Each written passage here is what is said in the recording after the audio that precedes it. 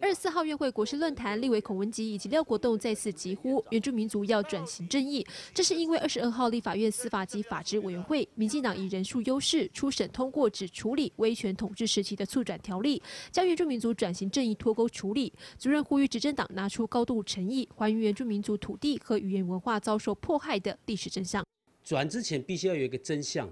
但是原住民的历史真相你已经抓住了吗？仅只只是威权时代下的那种转型正义，这是我令我们也担忧或是遗憾的。也就是说，你民进党没有做到半套，但是显然连半套的还不到之下，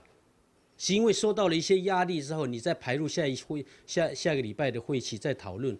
各版版本。那我觉得这个部分我们还是要严格去检验的。长期争取原住民族权益的欧米伟浪认为，原住民族几百年来在台湾遭受殖民政权不当政策的迫害，必须就历史正义政策制定相关补偿及赔偿，才得以恢复权利。原住民族青年期盼借由历史真相的回复，加速原住民族土地固有权的恢复。原住民的转型正义，当然就是要先从那个我们部落最土诶最核心的就是土地开始去清查，因为土地就是部落文化的。根也是核心，并且能够真的落实，把这些土地，呃，讨论出来要怎么样真正的还给原住民这样子。